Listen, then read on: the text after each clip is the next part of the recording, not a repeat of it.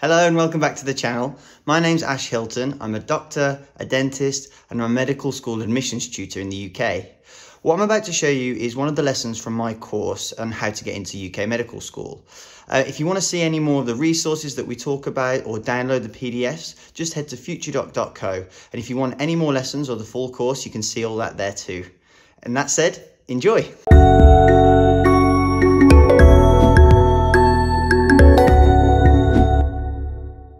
As we discussed, gaining work experience in a healthcare setting is crucial for your success. In this lesson, I will walk you through my tips on getting the most out of work experience. And at the end, I will teach you my seven step plan for how to gain hospital work experience in the UK. It's good to have a two week Monday to Friday, 9 to 5 intensive period of shadowing somebody in the UK. This could be a period of shadowing a consultant in a hospital or being in a GP surgery, but it should be balanced with a regular long-term commitment, such as a weekly commitment in a place local to you. It is usually good to get experience in the everyday, less glamorous side of medicine, like volunteering or paid work in a nursing home. I, for example, used to have a paid job working after school, giving out the evening meals to patients at my local hospital. Not all of your work experience has to be in the UK, but I would definitely recommend doing at least one placement in our UK National Health Service. It would probably work best to do a one to two week placement here,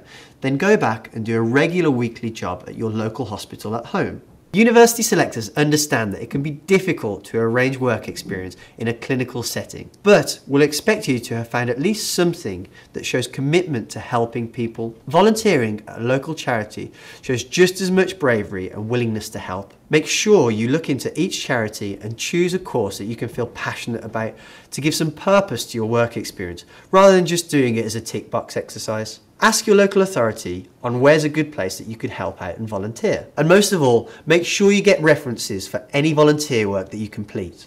Hospices are places where patients who are nearing the end of their life go to receive care. This can be quite difficult, but a skill that doctors must develop to survive for a career in medicine. Hospices are particularly grateful for the help of a keen, young, enthusiastic and helpful person.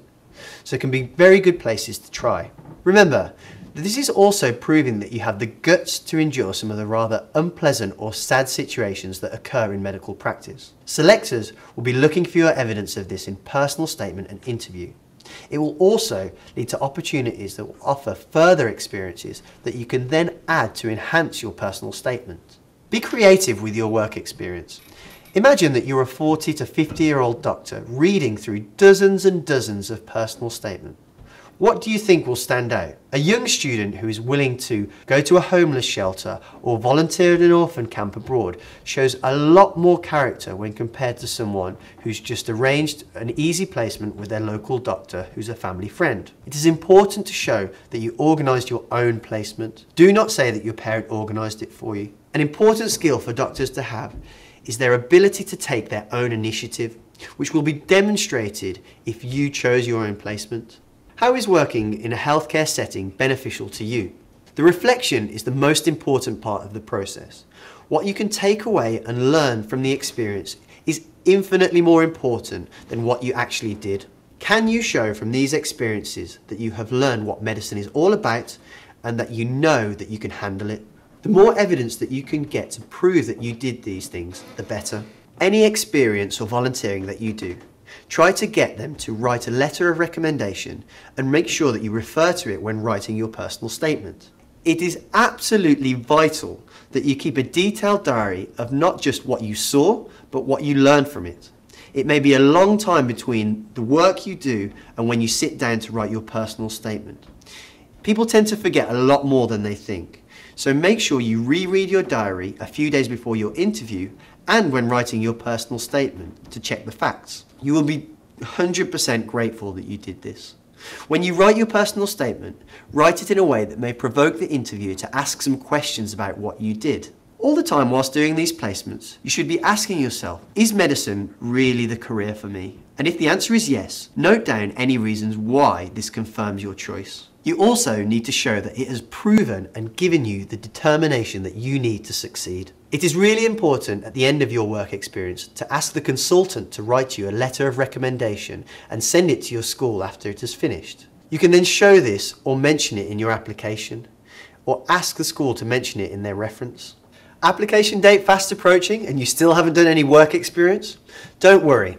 Although it's best to have some work experience beforehand so that you can write about it in your statement, you can still say that you have some arranged in the future and you're very much looking forward to it, as well as some of the skills that you think you might learn from engaging in the work experience.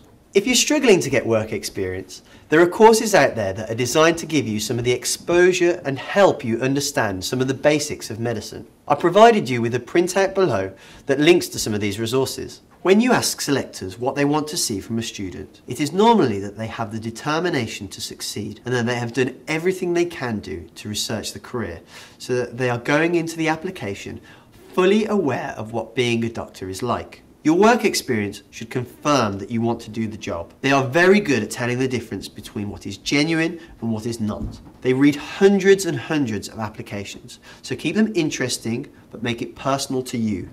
When on work experience, I really want you to keep a diary. The things that are really important to write about and look out for when you're on your, on your placement are examples of teamwork, the multidisciplinary team, which we'll talk about later, communication skills, empathy shown by the doctor, and the realities of being a doctor, which are usually seen in some difficult experiences. Now, here's my seven step process for obtaining experience in the UK. Firstly, decide on a specialty that you think you may like.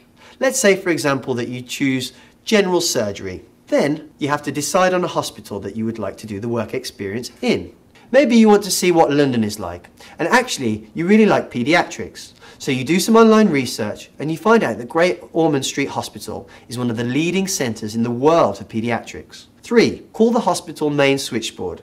You can find this number on Google just by Googling the hospital and then ask to speak to the secretaries for that particular specialty.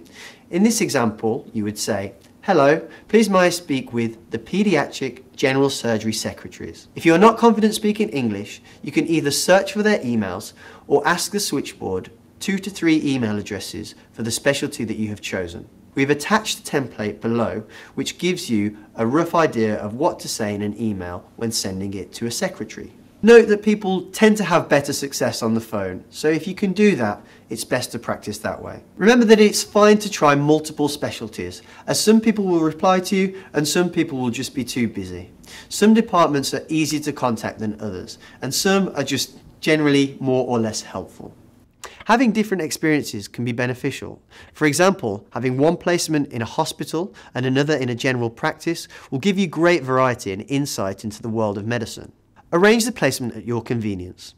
Make sure the consultant who you're shadowing isn't on holiday or away on a conference at the time that you plan to visit. Whilst on your placement, talk to everybody patients, nurses, junior doctors. I want you to really get an understanding of what it's like to live a day in their lives in the healthcare service.